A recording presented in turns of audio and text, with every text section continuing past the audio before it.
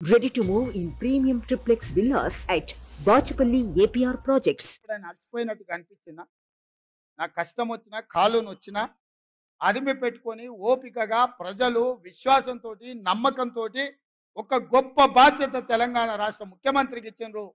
దాని బాధ్యతతో నిర్వహించాలని చెప్పి నేను ప్రయత్నం చేస్తున్నా కదా మిత్రులారా.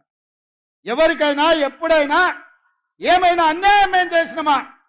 ఇవాళ ఎందుకు మూడు నెలలు ఆరు నెలలు ఈ ప్రభుత్వాన్ని పడగొడతామని ఇక్కడ కేడీ అంటుండు అక్కడ మోడీ అంటుండు మీరు ఒక్కసారి ఆలోచన చేయండి. ఏమిటి దుర్మార్గం అని నేను అడుగుతున్నా? కేసీఆర్ ఎన్నికైతే పదేళ్ళు ముఖ్యమంత్రిగా ఉండొచ్చు.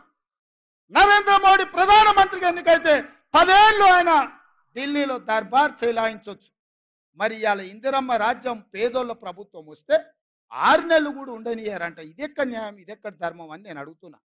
ఇది న్యాయమా? మీరు ఆలోచన చేయండి. ఏం ఉద్దేశం ఏం ఆలోచన? అక్కడ మోడీ అయినా ఇక్కడ కేడీ అయినా ప్రజల చేత ఎన్నికైన ప్రభుత్వం నలభై శాతం ఓట్లతోని గెలిచిన ప్రభుత్వాన్ని పడగొడతామంటే ఇది ప్రజాస్వామ్యానికి దేశానికి మంచిదా అని నేను అడుగుతున్నా. విఘ్నులు మేధావులు ఆలోచన చేయాలి.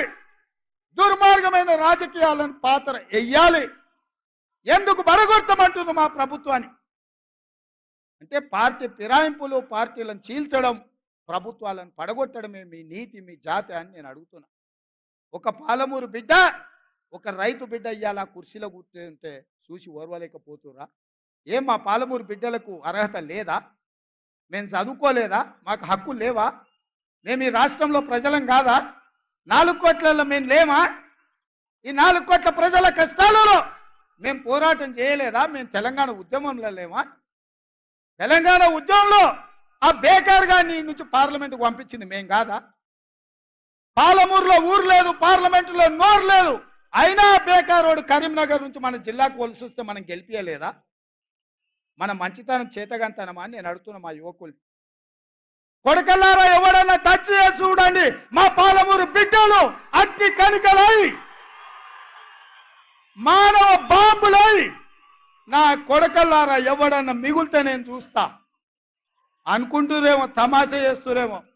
వానో వీనో సందులల్లా సకలగుల పెట్టి ఏదో చేద్దామని. ఒక్కనొక్కని పండబెట్టి తొక్కి పేగులు తీసి మెడలేసుకొని ఊరేగుతాం బిడ్డ ఎవడని ప్రభుత్వం మీదకి వస్తే. ఇది ఆసామాసి అల్లాటప్పకు వచ్చిన వాళ్ళం కాదు బిడ్డ. నల్లమల అడవి నుంచి తొక్కుకుంటా తొక్కుకుంటా తొక్కుకుంటా ప్రగతి భవన్లో ఉన్న నిన్ను కంచెలు బద్దలు కొట్టి బజార్లకి ఇచ్చిన బిడ్డను బిడ్డ ఇక్కడి నుంచి వచ్చినోని. తట్ట పని పార పని మట్టు పని ముంబాయి దుబాయ్ వలసలు పోవడే కాదు బిడ్డ. నీలాంటి వాళ్ళని కోతి తీసి బొంద పెట్టేది కూడా మాకు తెలుసు.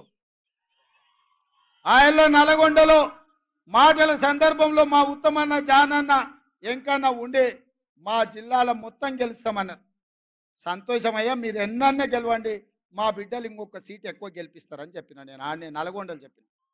ఇవాళ మా ఎంకాన్నోళ్ళు పదకొండు గెలిస్తే మా బిడ్డలు పన్నెండు గెలిపించిరా మళ్ళా మా ఎంకన్న ఇవాళ అంటనే ఉండు పక్కల నుంచి. మా నల్గొండ భువనగిరి మేము అల్క గెలుతామే మరి నీ సంగతి ఏందని.